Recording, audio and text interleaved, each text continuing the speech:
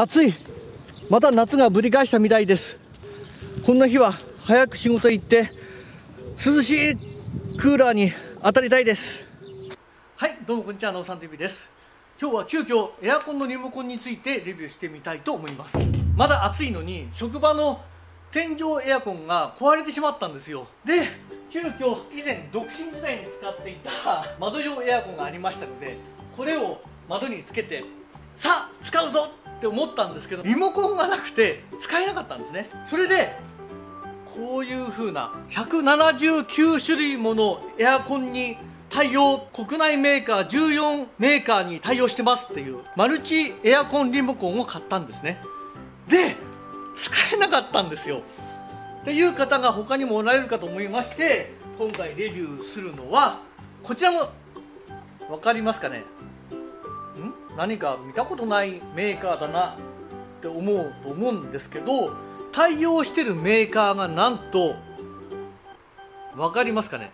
多分見たことないぞこんなメーカーっていうのがたくさん出てるかと思うんですけど国内外の有名メーカー全てを網羅したリモコンで1000種類もの機種に対応しているというリモコンなんですよ。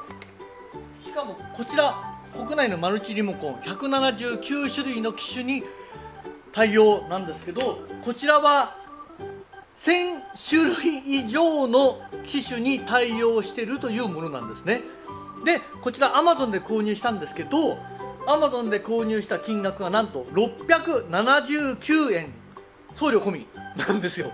679円で送料込みで世界中のメーカーに対応したリモコン。こんなに安いんですよ。で実際に届けましてこれあのハイ R の窓用エアコンなんですけど設定がちょっと面倒でしたのでその設定の方法っていうのを今回レビューしてみたいと思います。はいこちらが Amazon で購入した際の画面になるんですけど679円の送料込みなんですよ。すごいと思いません？はいで実際入ってきた商品はこちらになります。で取説は全て英語になります。でこちらにえーと、設定方法いろいろ書いてあるんですけどやっぱりちょっとね英語だと分かりにくいですからしかもこれ分かりますかね？こんなにメーカーが世界にはあるんだっていう驚きのメーカー名がむちゃくちゃ書かれてます。ちろんシャープとか東芝とかパナソニックとかそういう有名メーカーもちろんあるんですけどどこに書いてあるんだっていうのはもう埋もれてしまって分かんないぐらい世界中にはいろんなメーカーがあるんだなっていうことが分かりました。もうそれだけでもすごいですよね。はいこのようなリモコンなんですけど使い方いきますね。こちらが電源オンになります。そしてこちらにセットってボタンがありますよね。のボタンセットを長押しすると3秒ですね。はいこのようにこの今10になってますけど10が点滅するんですよ。でこれを変えていってそしてこの OK ボタンを押します。まあこれだけなんですよ。違ったらまたこれで試せばいいです。セットを押します。長押しします。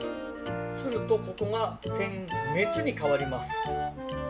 そしてハイ R のこちらのエアコンは10だったんですけど10に変えます。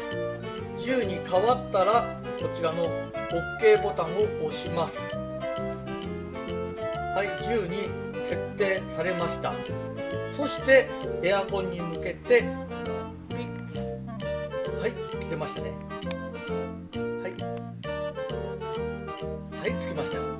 っていう風にしてえーと、設定をやっていくわけです。こちらのボタンとこちらのボタン。あとこちらで選択をしていく。まあこれだけですね、まあ、1000種類もあったらどれが合うかというのも難しいかと思うんですけどこの表によると例えばこのこの ACSOM というメーカーであればこの980という番号のみになりますし例えばえー、こちらのものですが301から300 301か302っていうことですね。例えば日本の例えば NEC NEC のエアコンってあんまり聞けませんけど500から550は50も試せなくちゃいけないですね。あとは860 943、946の中から1つずつ試していけばいいんですよ。1000個あっても使い道は使う機種っていうのは1種類だけですからね。何としてでも見つけなくちゃいけませんけどこれだけのものに対応しているリモコンが送料込みで679円で手に入るっていうことがもう本当に驚きでして、えー、急遽ちょっとレビューさせていただきました。はいいかがでしたか？今日はこちらのリモコンお値段がすごく安いですし国内のメーカーのものでは使えなかったものがなんと送料込み679円で手に入ったっていう驚きをちょっとレビューさせていただきました。まだまだ暑い日が続きますのでエアコンが壊れたどうしようリモコンがないっていう方結構おられると思うんですよ。そういう時には今の Amazon の商品試してみてもいいんじゃないかなと思います。国内のメーカーの方が安心かと思うんですけどその中国のこういうメーカーがかなり頑張ってるなっていうことを今回本当に実感しましたのでぜひ試してみてください。ご視聴いただきありがとうございました。暑い。また夏がぶり返したみたい。すごい暑い。早くエアコン。